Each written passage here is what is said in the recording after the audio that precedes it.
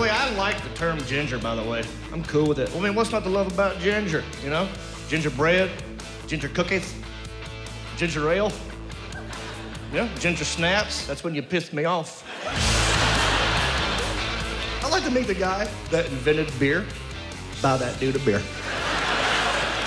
That's why I'm coming out with my own beer. It's gonna be huge. I'm gonna be rich. I'm gonna name it, uh.